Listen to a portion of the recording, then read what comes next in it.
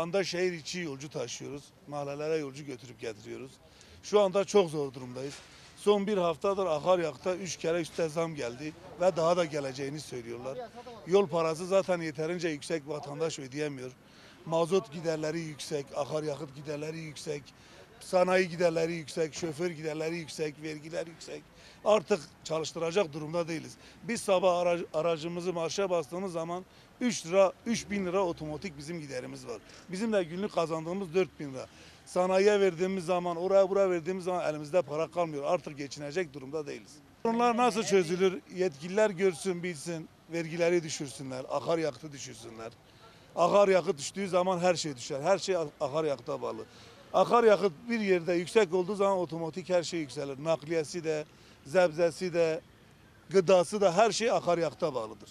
Akaryakıtın düşmesini istiyoruz. Bize ÖTV'siz akaryakıt versin. Herkes de biliyor, herkes bu memlekette yaşıyor. Kimse aksini iddia ediyorsam kimse de aksini iddia edemez. Bir gün her şey birbirine doğru orantılıdır. Mazot yükseldiği zaman her şey yükselir. Abi 5 aydır bu mesleği yapıyorum. Yani gerçekten şartlar çok zor. Özellikle yakıt konusu. Yani günde çektiğimiz ciro 3000 4000 ama yakıta veriyoruz 1200 1500 2000 lira. Yani bir şey kalmıyor. Ne bize ne hat sahibine. Hiçbir şekilde kazanmıyoruz. Şoförüm. Aa, yakıta zam geldiği zaman abi herkes sıraya giriyor.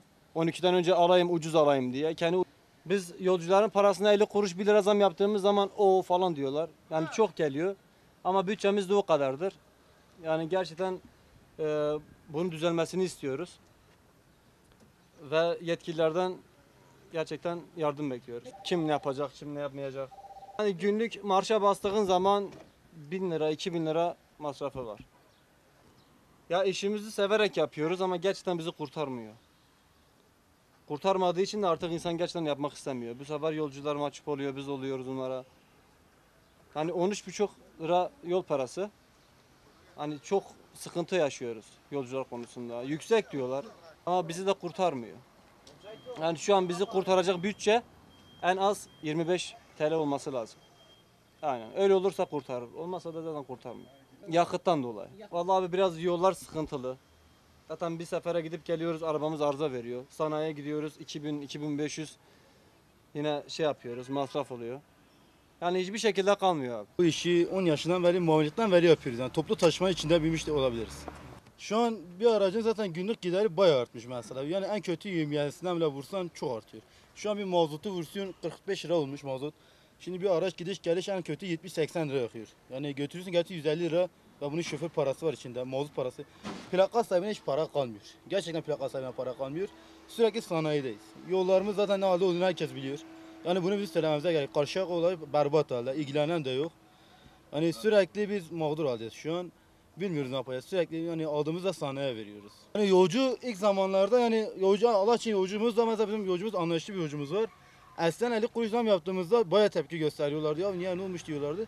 Mesela e, bundan bir 3-4 ay önce 3 lira zam oldu. Tepki göstermedi. Yani yolcu da bize hak veriyor mazottan dolayı, giderlerden dolayı. Yani şu an bilmiyoruz biz ne yapacağız. Belediye zam teklif vermeyi düşünürüz yine. Yani gerçekten kurtarmıyor yani şu an. Yani milletin gözünde diyorlar ya minibüsçüler çok güzel para kazanıyor.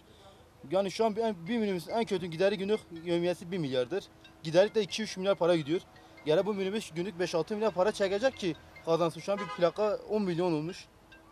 Para kazanmıyoruz yani. Yani sözdeyiz yani öyle. Hamallık yapıyoruz. Şu an 10 yıldır bu işi yapıyoruz. Bir topluma, yolculara gelirsek yolcular biraz düştü yani her zamankine göre.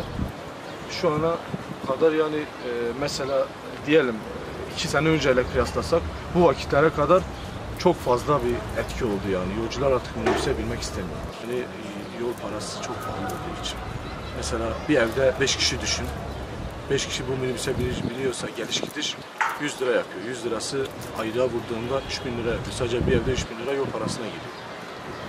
Bu şekilde de herkesi etkiliyor yani. Minibüse binmek istemiyorlar. Şey mazotla alakalı bir şey. Bir tek e, yolcu için değil de yani genelde. Mesela mazot olmasa ulaşım olmaz. Ulaşım olmasa da ticaret olmaz. Sonuç olarak sen gidip bir manavda bir şey aldığında mazot yükseldi mi adam mecbur mazotun parasının farkını sana ekliyor. Böyle.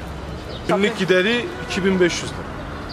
En az. Getirisi de 4 Yok kurtarmıyor. 10-11 milyon yatırıyorsun bir arabaya. Günde 1 milyar para. Para değil o ya. Yani kurtarmıyor. Zayıfları artık hatlarına bakmıyorlar. Kira veriyorlar. Adamları kurtarmıyor. Kira veriyor içinden çıkıyor. Mesela ben diyeyim bugün bu ay full çalıştım. Bütün her param sanayiye gitti. Bu yollardan dolayı. Zaten bütün yollar kötü. Arabaları iki gün, üç gün sürüyorsun. Üçüncü gün mutlaka ve mutlaka sanayiye gitmek zorunda. Çözüm nedir? Çözüm bir an önce mazotun biraz daha inmesi. Bu yolların da yapılması. O zaman esnaf, bizim minibüs güzel